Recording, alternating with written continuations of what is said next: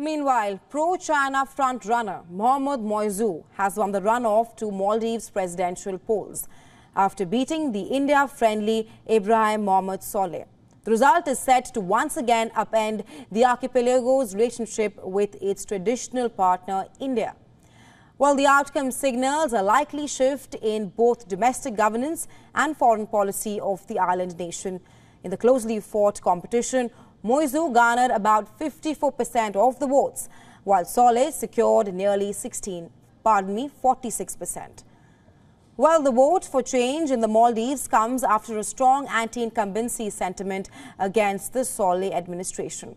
In fact, it was fueled after former President Solih came under sharp attack from the opposition for his stated India First policy.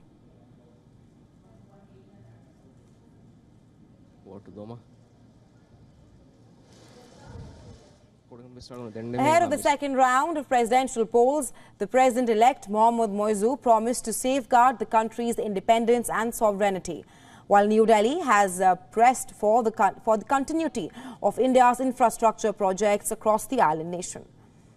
The newly elected leader will also seek to balance India-China ties. The top two candidates had made big promises on housing, which is a preoccupation for the Maldivian voters. And after the counting was closed on Saturday, former President Solih took to the social media platform X to, to congratulate the new presidential-elect Muizzu. While the president-elect is expected to take office on the 17th of November, he already has tasks lined up. This as the country faces multiple challenges of mounting debt, dwindling foreign reserves and heightening climate risks. Maldives President-elect Mohamed Muizzu's win comes at the heels of Maldives preparing for a referendum, which is scheduled for the coming month. The plebiscite is for citizens to decide if the country must switch to parliamentary system of governance, which is, which is also one of the major reasons for Mr. Solih's defeat. Now, Maldives has been under India's sphere of influence for a long time. The diplomatic ties and the presence has given Delhi the ability to monitor a key part of the Indian Ocean. Meanwhile, China, with its rapidly expanding naval forces, is also eyeing access to such a strategically important location. In fact, Beijing is also keen to protect its energy supplies from the Gulf, which passes through this area. Now, with both economic powerhouses vying for influence in the island nation, the diplomatic shifts in Maldives may come with a huge cost. Now, let's get you up to date with who is Maldives president-elect. The 45-year-old Mohammad Muizzu was the former mayor of capital Male and has been unapologetic about his pro-China positioning.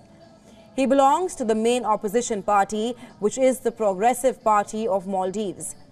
In the run-up to the polls, he had pledged to expel Indian military personnel stationed in Maldives while his main agenda is to switch the geopolitical dynamics of the region.